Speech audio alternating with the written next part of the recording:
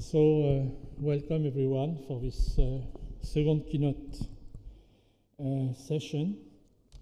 So, I have the pleasure, of course, to, to introduce Rama Cont. So, Rama Cont is a professor at the Mathematical Institute at Oxford University. And uh, uh, in fact, uh, we know Rama Cont since a very long time, since before being in UK, he has a kind of French life.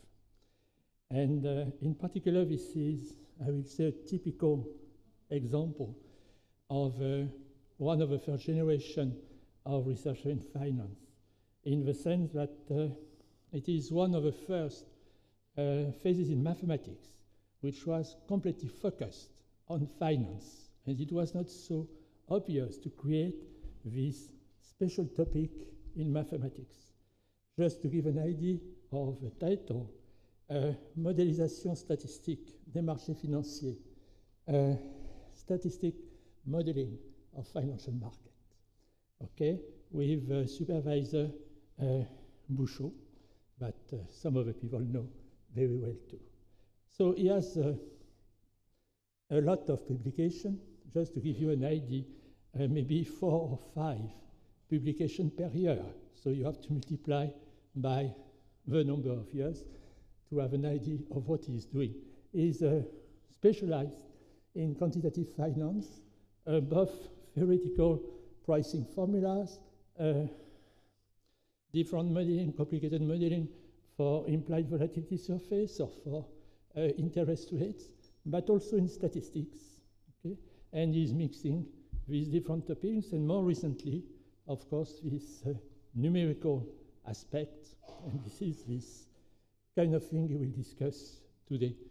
Uh, I have also to, to say that he, has received some years ago the prize from the uh, Institut Louis Bachelier, so he is, of course, very welcome to, to be here again. So maybe you can come and explain what you are doing currently in your research. Thank you.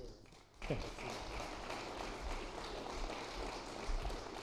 very much, Christian. It's a pleasure for me to be introduced by Christian because I learned a lot as a student from him. And uh, it's a great pleasure to be here to present this work. So uh, I'm going to talk about the generative AI and some applications in finance. And so this picture is, of course, an example of generative AI. We're generated with DALL-E, which is the, the gra graphical companion to ChatGPT.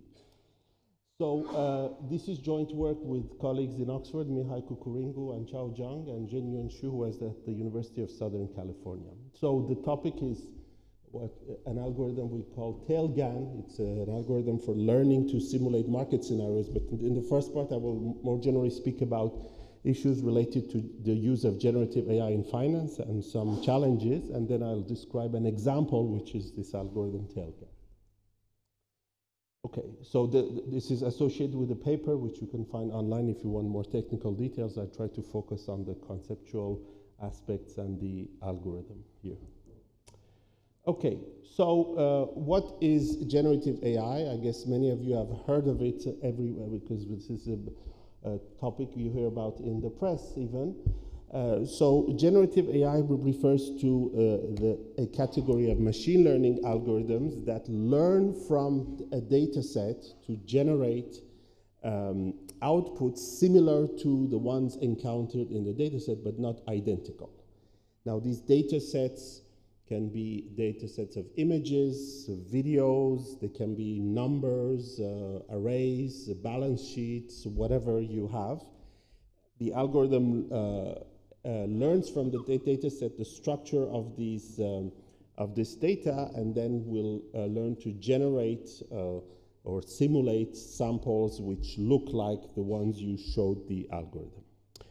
So um, in machine learning, uh, people keep inventing new terminology to designate things which actually already existed before, but they don't necessarily know about.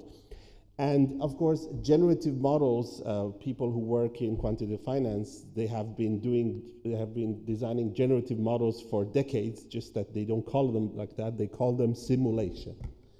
So generative models are nothing else but models for simulating something.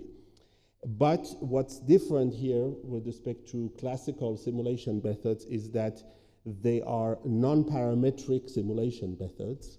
So basically, you, in the classical point of view in simulation, you write down a statistical model, you estimate it from data, and then you estimate coefficient from data, then you simulate it with uh, you know, uh, the classical Monte Carlo methods. And uh, this is the paradigm for simulation that we have been using for decades in quantitative finance.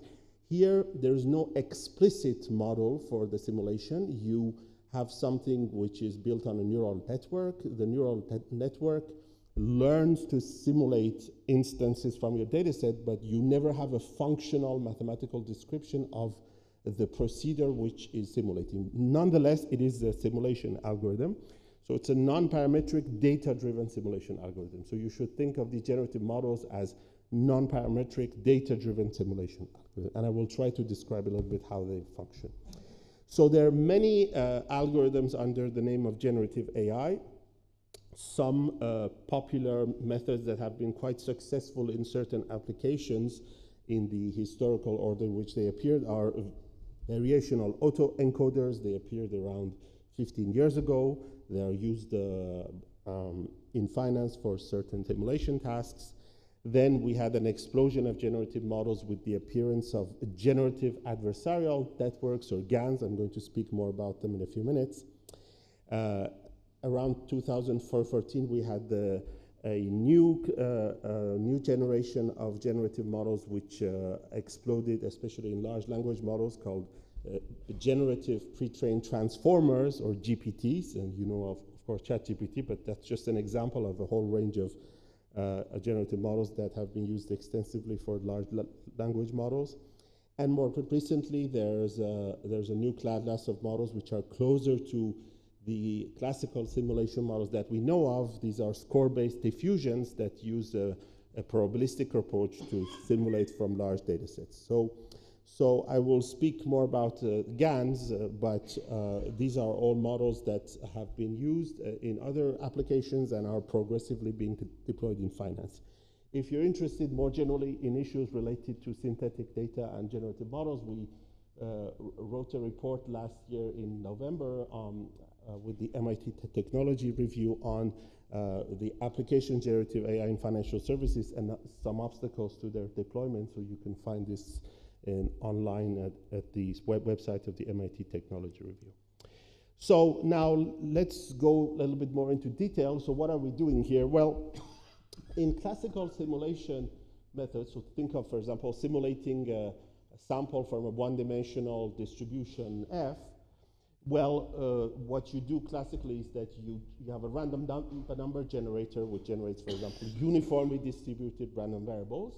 And if you know your target distribution F explicitly, then there is a simple algorithm which is taught in on Monte Carlo simulation courses. You apply the inverse of F to the uh, uniformly distributed random variables, and you get samples which have the distribution F exactly the one you need. So this is the classical simulation um, uh, uh, approach if you know your target distribution F explicitly and if it's simple enough so it can be inverted.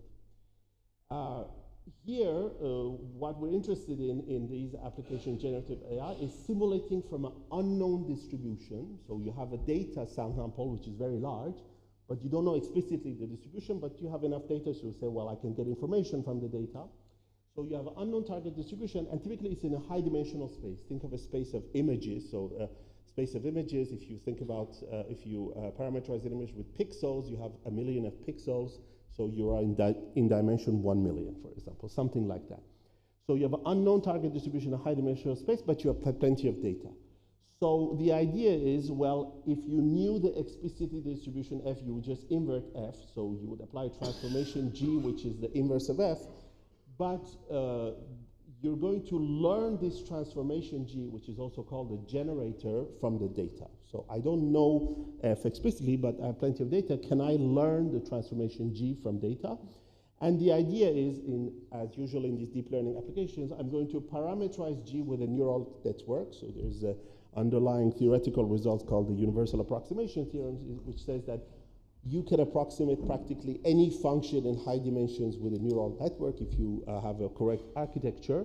So I will take a neural network which has enough depth, and we're going to train the weights of the neural network in order to learn how to generate this uh, uh, function g, the generator learn this function g from the sample mm, uh, with the, the, the desired distribution. So this is the, uh, the static version of it, which has been, uh, which was initially developed, for example, for simulating images. In, in financial applications, we're often interested in something even more ambitious. We want to uh, generate a dynamic process, for example, uh, time series, uh, time series of stock prices, high, high, high dimensional time series of multi-asset time series for stock prices. Then, uh, well, what we're interested in really is uh, given the history of the data up to now, given the market information up to time t, uh, we're interested in sampling from the conditional distribution, so there is uh, even more, more in information encoded in the data. So we want to apply this process, learning the generator, but at each time t to the conditional distribution. Okay, so that's the, that's the challenge. So one, uh, one solution which was proposed by Goodfellow and co-authors in 2014 is uh, in the form of what's called generative adversarial network. So the idea is, well, you want to train this generator, which is a neural network, and um, you actually train two net networks at the same time, and you think of this as a two-person game. So you have two neural networks. One generates samples, and the other one is going to test these samples and tell you whether they're good or not, whether they are, uh, whether uh, their likelihood that they come from the data is high or not, and reject or accept them. So you have these two networks, the GND, generator and discriminator, so the generator will, generate new samples based on the random input. The discriminator takes the output of the generator and compares it to the real data and says yes or no, this is acceptable or not. And the idea is that you then uh, train these two networks um, by iterating. It's like a repeated game between these two players. You iterate, uh, um, you, you, go through iterations where you uh, um, improve at each step through a gradient uh, step the, um, uh, the performance of each of these networks. And uh, the goal of, for, for, the generator is to produce output that is statistically indistinguishable from the real data. And the goal for the discriminator is to do a perfect test. So this is what's called adversarial training. So the generator and discriminator are trained simultaneously and iteratively improve each other's performance. So that's the GAN um, uh, paradigm, and it, it, has been used a lot for uh, generating images and videos, and you've probably seen a lot of these things uh, uh um, uh, in, in, various publications and, and, the press. So that's an example of an output of, of a GAN. So on the left, you see a database of dog pictures, and then you train the GAN on this data set, and it generates, each time you give a random input, uh, you generate a new picture of a dog, which is not one of the dogs in the sample, but it's a new dog. And so you have real dogs on the left and simulated dogs on the right.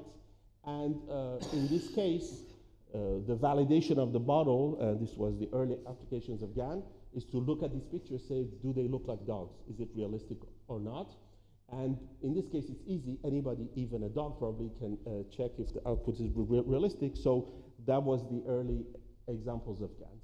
So um, now, uh, very quickly, people in finance said, oh, this is very interesting for a non-parametric simulation. Let's take these al algorithms and run them on time series. So this has been used to design so-called market simulators or market generators. So there's a lot of references here, and there are more uh, uh, as we uh, as we go on, people do more and more applications of this. They apply these to different types of financial data sets and they generate output. So I, I did talk, talk about the training, but typically the training in these uh, neural network settings is done by minimizing some distance between the output distribution and the sample and the and the sample empirical distribution. So this uh, distance is typically either cross entropy or some uh, more elaborate distance like a Wasserstein distance. So the goal is that the output distribution is close in some sense to the distribution in the data. And so you minimize this by uh, iterating over weights, and you get a black box simulated that is supposed to generate good market scenarios. The question here is, how do you validate a model like this? For images, as we saw, you look at the dog and you say, this, likes, this looks like a realistic dog, but if you have uh, outputs which are arrays and arrays of uh, now numbers, I ask you, if I ask an experienced quant, okay, I give you this array of uh, 10,000 uh, by 10,000 num numbers supposed to represent 10,000 returns of 10,000 stocks, does it look, realistic? I don't think anybody can look at that and tell you if it's uh, realistic. So we cannot rely on user validation. We need to have a systematic algorithmic approach to model validation because the output is high dimensional arrays of numbers. There's no easy way to check. Um, so uh, that's, that's the number one issue, I, I, think, in this. And that has been the obstacle to the widespread adoption of these models in finance because, especially in re regulated institutions like banks, you have a model validation procedure, and uh, the model validation teams often don't even know how to deal with these black box simulators. I mean, what do you check? Where are the assumptions? What's the structure? It's a black box.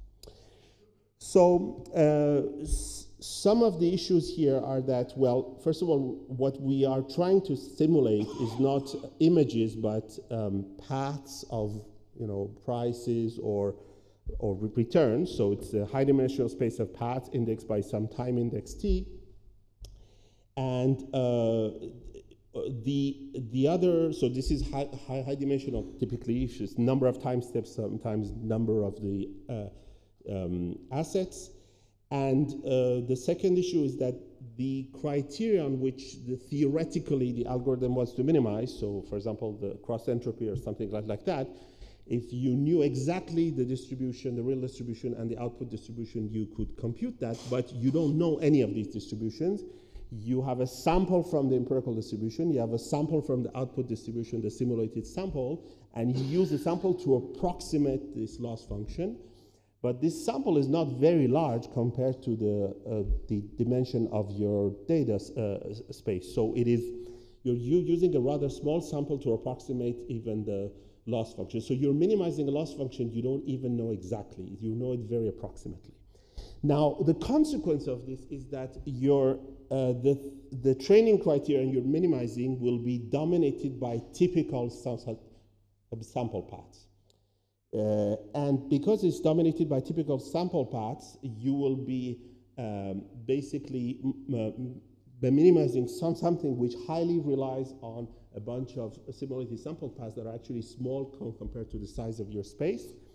Now, in risk applications, if you're going to use these scenarios for risk evaluation of portfolios or backtesting of strategies, for example, you are typically interested in uh, the tail of the loss distributions of your portfolios. You're interested in the few scenarios where your portfolio blows up or you, uh, you have a high, high profit. And these tail scenarios only occur by construction with small probability. They do not dominate or they may not contribute a lot to the training criterion that is uh, used in these scenarios. For images, it's okay because you actually want to simulate a typical dog you don't want to simulate a mutant dog or some dog with three eyes. But in this case, the, the atypical sample path where there's a flash crash or some, uh, some uh, large uh, uh fluctuation in prices may be the ones which dominate your P&L. So if, you, uh, if your criterion is not sensitive to them, well, that's not good. It's not going to do your job. So in fact, uh, we want to take the problem the other way around. We say, okay, these scenarios, what are they going to be used for? What features of the scenarios, of the outputs we are interested in? And then we should design a loss criterion which is sensitive to those features. Because if I, uh, if I have a blind algorithm that uh, optimizes something, then expose, I discover that uh, the the way I design the outputs does not take into account what I'm interested in, that's it's too late. So what are we interested in? If you were, you were simulating not dogs or cats, but financial scenarios, we are typically interested in computing the profit and loss of portfolios in these scenarios. That's the thing they are used for. For risk calculations, for backtesting, whatever, we always take a bunch of strategies, and run them across the scenarios, calculate the P&L, and that's the uh, object that is the input for risk cal calculations, valuations, everything. Okay, so what are these? Well, it means that I'm going to take a certain number of uh, uh, investment strategies, let's call them phi, so they specify the portfolios as they evolve in time. These portfolios are, uh, so you can think of a strategy, an investment strategy is a map from the market scenario to portfolios. It tells you in this scenario, buy this, sell that. In that scenario, buy this, sell that. So it's a map which sends, if you input is the scenario, output is the portfolio. And if I integrate this portfolio along the path, I get the P&L, the profit and loss of the, of, this, of the strategy. Okay, so basically, each specification of a trading strategy allows me to take the scenarios, compute the profit and loss.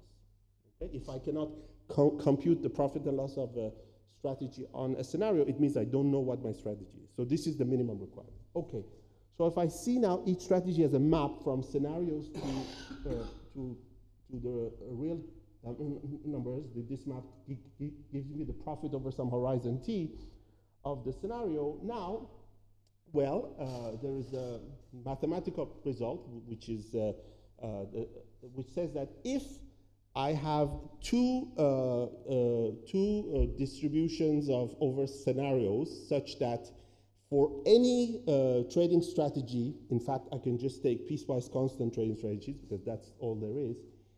For any piecewise constant uh, trading strategy, I get the same loss distribution in uh, for the set of scenarios one, set of scenarios two, then these two uh, sets of scenarios have the same law. Okay? So it means that it's enough to know the P&L distributions of all trading strategies. There is nothing else in the in the distribution of scenarios. That's it summarizes. It's a sufficient statistic for the distribution of scenarios. Okay. So this means that uh, the if I use as features of my scenario uh, distribution the profit and loss distributions of my strategies, that's enough. That's all uh, there is as information. There's no other information. Now, the idea here then is okay, well, I may not be interested in all possible trading strategies, but a subset of them because I'm trading in a certain way. For example, I do momentum strategies, I do mean reversion strategies. I only deploy a subset of all possible trading strategies. Uh, and I'm, I'm going to use this subset as features for extracting information from the scenarios if I can match the loss distributions of the subset of, of trading strategies that I use, that's actually enough for me. I don't care about uh, all, uh, all uh, bizarre strategies that are conceivable. I actually care about the subset of strategies, mine. Okay?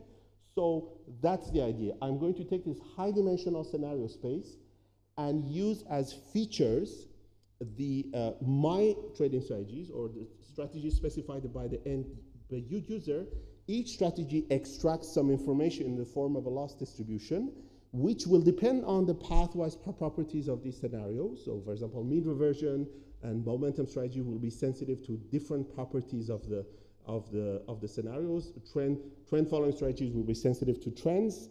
Uh, mean reversion strategies will be sensitive to mean reversion prop properties of the scenario. And um, I will be extracting the information which gives me the correct loss distribution for these strategies. The good thing now is that the loss of a portfolio is a number. So it's a random variable in one dimension. I start from a very high, high dimensional set of uh, uh, scenarios I want to sample, but now I end up with k one-dimensional distributions. These are the profit and loss of my k strategies. And it's much easier to learn to match one-dimensional distributions. We know a lot about them than it is to match a 10,000 dimensional distribution. So this dimension reduction though is a financially meaningful one because I can understand what I've done at the end of the algorithm. I have matched, I've uh, designed a simulator which matches correctly the loss distribution of K, uh, my K chosen uh, trading strategies rather than some abstract property like the cross entropy approximated by a sample. Okay, so that's the idea. So you can think of it if you're familiar with the dis discretizations of partial differential equations, things like that. It's a projection, but this slide is for Raphael Douady. Uh, so you can think of it as a projection method. You have this strategy. Each strategy projects uh, on one direction, and uh, it it integrates along the path uh, in a certain way, which depends on the properties of the strategy. So the idea is to think of the space of strategies as a dual of the path space, and you're discretizing the dual rather than discretizing the path space. Okay. Now, the second thing we want is that, okay, you have this loss distribution. I want to learn these loss distributions, but what do I want to learn about the loss distribution? So remember that, you know, typical uh, approaches such as sample-based cross, cross, entropy will be a, a, a sensitive, focused, uh, concentrated on typical sample paths. If I want, for example, for risk purposes, to be sensitive to the tail risk of the strategies, well, I should design a loss function or a training criterion which is sensitive to, to the tail of the loss distributions. Well, uh, there we, we appeal to statistical theory. So uh, the idea is that if you look at tail statistics such as value at risk or expected shortfall, actually, well, the usual way to estimate value at risk and expected shortfall is that you take your losses, simulated losses, you order them, and then you compute the order statistics, the second biggest loss, the 10th biggest loss, and so on. But there is a, another unnatural way to estimate these same things. It is to minimize a certain score function. So you would typically never do that naturally, but there is a whole theory in statistics called M statistics. So statistics which can be estimated to the minimization or maximization of a score function rather. And these statistics are called elicitable statistics. And so there's been an interesting literature uh, uh, in the last decade where people said, well, can we estimate value at risk and expected shortfall by minimizing some score fun function? And the answer is yes. There is a whole range of score functions which can be used to estimate value at risk and expected shortfall. These were uh, completely characterized by Acerbi and Szekely and Fissler et al. So there is a score function which I call here S alpha, and there is a whole family of them, in fact, uh, which if you minimize this over your sample, the minimizer gives you the value at risk and expected shortfall at your desired confidence level alpha. Okay, why am I talking about this? Well, if this score function, the minimization, gives you the, uh, the tail statistics of, of, your loss distribution, if I now use this score function as my training criterion on the simulated sample, so I compare the score fun function in the simulated sample and uh, the uh, real sample, it means that I'm going to try to match the tail statistics, uh, the value at risk and expected shortfall. So uh, by using this trick, you incorporate in the training a criterion which, if you minimize this, it will give you a consistent estimator of the value at risk and expected shortfall of your portfolio. So this is a, a result coming from statistical theory that we use here. So now to, but to summarize, I, am going to take the following two ingredients. I'm going to take uh, K strategies, these are trading strategies specified by the user. I ask you, sir, which, uh, what would you like uh, to use the outputs of the scenario generator for? You, you tell me, well, I have these trading strategies, I want to match the loss distribution. I say, okay, fine, give me your trading strategies. Uh, using these trading strategies, I can map each scenario to a PNL, to a loss.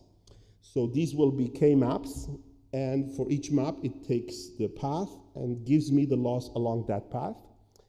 And now I want to, uh, uh, to uh, optimize over the generator parameters such that these paths give me the correct tail statistics for the loss distributions, and there I'm going to use my score function. So the, uh, so the score function is what's called S alpha. The score function S alpha, remember, if we minimize it, will match the uh, expected value, uh, expected shortfall and the VAR of the two samples. So I'm going to compare uh, I'm going to pl plug in the, the simulated sound samples inside the score function, and I force them to match the, the details of the same portfolios in the real data.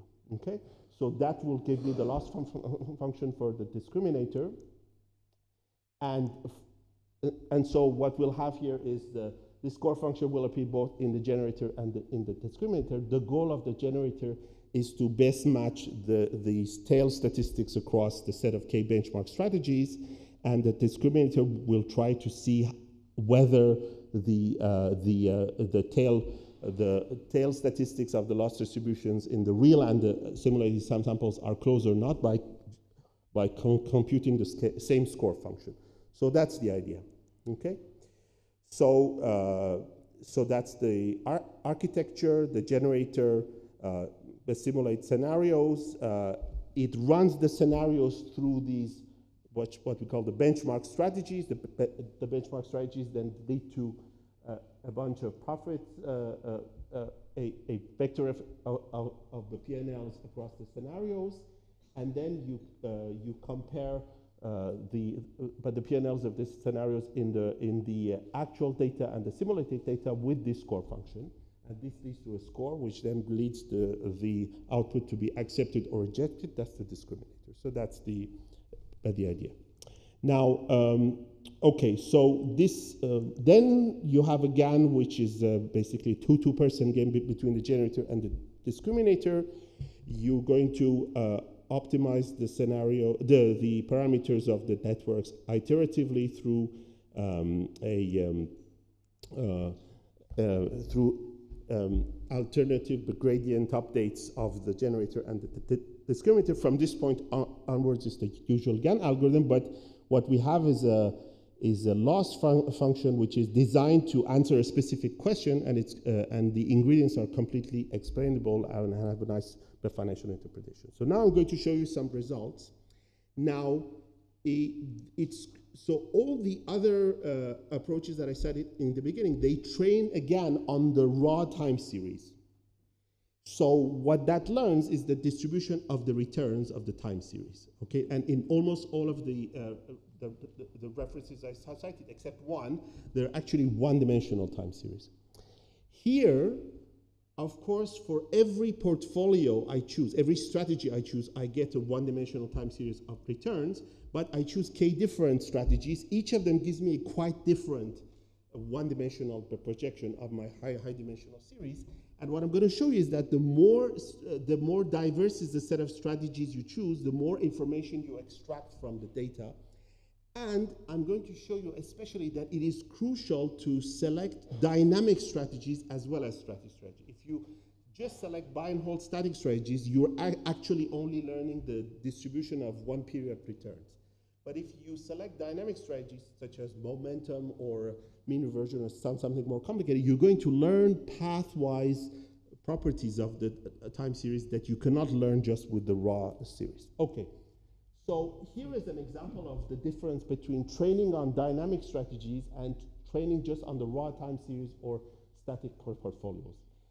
So what we show here is the out of sample error on the forecasting of the value at risk and expected shortfall. So uh, if you have, if, if you know in the theoretical case where you know the true model, so this is a test on simulated data. If you know the true model and you simulate a sample of size 1000, you will have a statistical error on the value at risk and expected shortfall. That is what it is.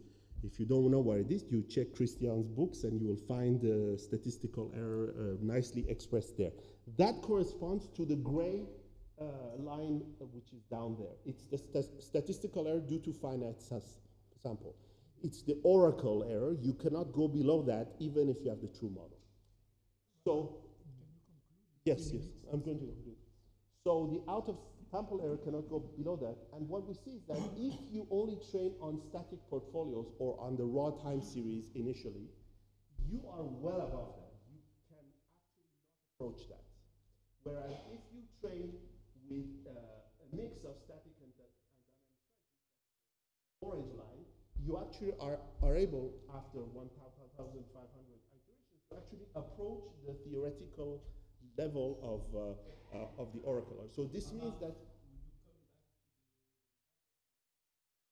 microphone, sorry, yes, yes. So uh, it is essential to include dynamic training strategies in uh, to learn this. Um, so uh, here is a picture, a qualitative picture, for example. Here in this example, we train it on intraday data for Apple what you see is that if you train it on uh, the only the raw time series, so it's not you using these dynamic strategies, you get the output in the middle. So basically, it is too homogeneous compared to the real data. It's not learning the cross uh, uh, cross cross temporal correlations. Whereas if you train it with with the dy dynamic strategy, it learns the mean reversion properties and the uh, and the autocorrelations and so on. So you get something more realistic, which is the one in the bottom. Here is another test with the GARCH 1-1 with student T. So here you have both, both temporal correlations through the GARCH and then heavy tails. You can see again that training on the raw time series, as is done in the other papers, gives you something in the middle. It is too homogeneous. Whereas if you train again with dynamic strategies, you, you get the one in the bottom, which is uh, which uh, gives you a good uh, structure for the for the um, uh, uh, well, but compared to the real data. Of course, these are just pictures, but if you look in the in the paper, what we try to match is the tail behavior, the the cross asset core correlation patterns, and the autocorrelation. So we can show that including dynamic benchmark strategies allows you to learn the cross asset correlations and the autocore correlations in particular uh, of, of these time series. So just a last word about scalability to high dimensions. So uh, in the examples I showed, these were one-dimensional examples. In the paper, we also look at how this can scale to dimensions, say, 50 or 100. So uh, the, uh, uh, this is a real problem because uh, there are fancy and very sophisticated um, models in dimension one, two, and three for simulating uh, low dimensional situations in finance. But once you go to dimensions 50, 100, or 1000, basically everybody drops back to, to, to Gaussian factor models because there's nothing else that can scale. Here, this is a method that can scale in the following way. You can include as particular portfolios in your uh, benchmark strategies what we call the eigen portfolios, which correspond to the principal com components of your covariance structure. In this way, by throwing in these eigen portfolios, implicitly you are going to learn the, uh, the covariance structure of your data. Your simulated data will respect the covariance structure of your data. And this is a linear way of scaling to high, high dimensions. You throw in n eigen portfolios for n, n dimensional data set. In, in this way, you capture uh, very uh, efficiently the covariance structure rather than with n squared uh, the covariance matrix size. Okay, so let me just conclude then. So um, what I try to argue in general is, is that I think uh, that, uh, well, the generative AI, everybody uh, says now it, it, it's a powerful tool that is going to invade uh, all applications in finance. That's already starting to do that. But most uh, attempts up to now have been to take these uh, off-the-shelf algorithms and just apply them to financial time series. I think there are some issues with, with that, and one of them is this model uh, validation issue. And I think that it shouldn't be a side issue that we deal with a posteriori, but we should really think about what that implies for the design of the model. So here the approach we propose is first, think about what you're going to do with the output of the generative model. Then design a training criteria which corresponds to the to the applications you're thinking of to good performance in those applications, integrate it into your training, and then uh, if you have convergence with the training algorithm, then it means that by construction, you are answering to the validation criteria that you are, are, are requiring the model to perform on. And I just gave you an example with Tail-GAN, but this is just an example. If you're not interested in tails, okay, you can uh, use another loss function, but the main idea is think of the trading strategies you would apply the, the, um, these, uh, these scenarios to, and then use the trading strategies as projections, which project your high dimensional space to one dimensional uh, PNL space. Then you are in a low, low dimensional space where it's easier to compute things and it's more interpretable. That's the idea. Thank you.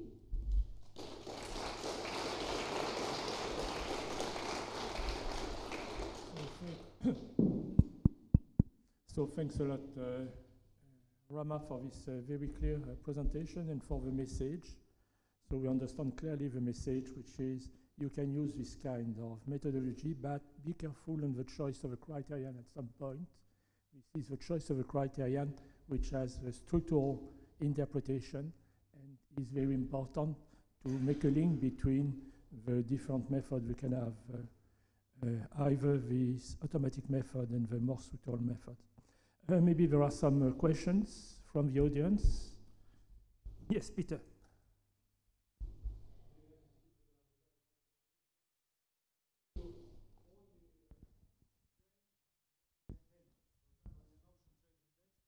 maybe you also want to train on some exotic payoffs that are not hedgeable but that are still very important for risk management rather than just strategies? Yeah, so if you're in, in interested in, for example, uh, getting uh, correctly the payoffs, the distribution of certain payoffs, you can just include the payoff. That's also a map which takes the scenarios to the uh, to some value, but it's a simple map. It just takes the it com computes the payoff along the path. Yeah, why not? Or you, you can even look at uh, something more sophisticated, which in fact is what we, we're, we're, doing with Milena Vuletić, who will talk about this in the talk in salle de séance afterwards. You can look at the, uh, the uh, loss distribution of a hedged uh, position. For example, you want, uh, if you want your scenarios to be fine enough to replicate the performance of hedging strategies correctly, uh, you can look at uh, an option and the corresponding hedge, um, some hedging strategy along the path, and you want that in the scenarios, in the data, the PNL of the hedged uh, of the hedged position be uh, be similar. So this is also something that you can do. In general, I mean, when I speak about strategy, it can be a hedging strategy for a target payoff. It's not necessarily a. Uh, I mean, in the in the assets, you can include options. Here it's just on raw time series of stocks, but uh, we're doing this, for example, for, for limit order books. For limit order books, it's even more interesting here because if you take limit order books, the units of the data in inputs are not prices. There are, you know, you have these arrays of uh, volumes and so on. But at, at the end, the, the user will use these limit order book scenarios to execute some strategy, it's some uh, execution strategy for trades or something which generates a P&L. So if, if you can uh, write down the strategies, then actually you're going to translate the outputs of the scenarios into a met metric in dollars or euros where you can actually compare the performance across different stocks which have totally different limit order book units. So I think it's, uh, you can think of this as, as a normalization. It's, uh, you get uh, a, a projection that is normalized in some sense, and you can then, com then compare the, the performance across strategies.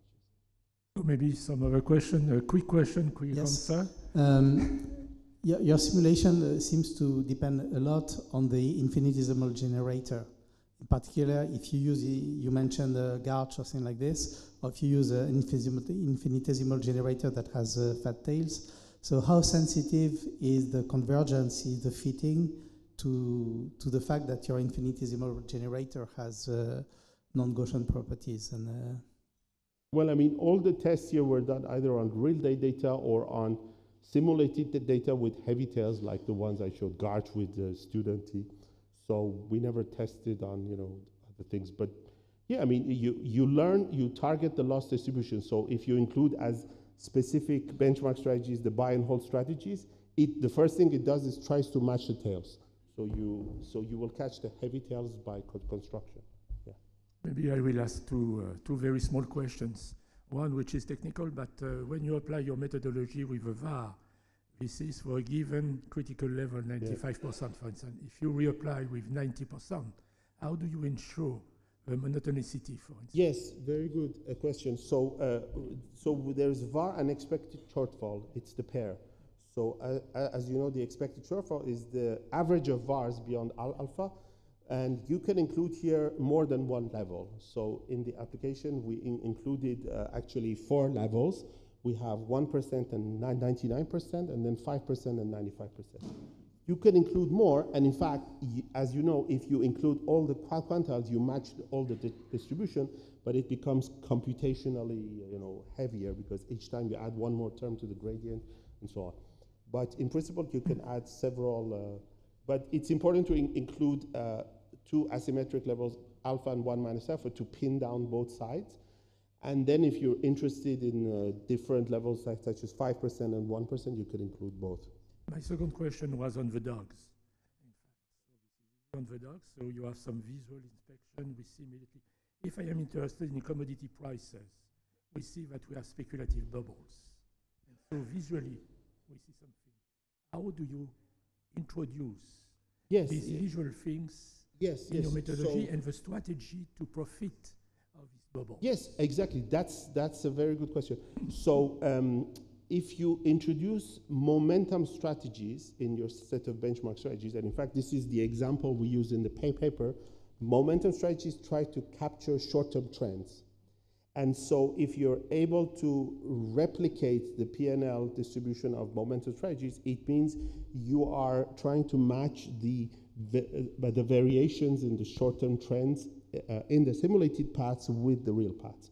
So this is exactly what we do. We of, use of also the returns. That is, you have a trend. yeah, yeah. So you have to look at the, the trends and how, how they shift.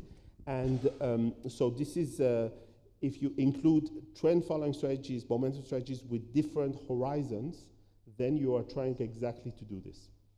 Thanks a lot. Oh, we have to thanks again, Rama.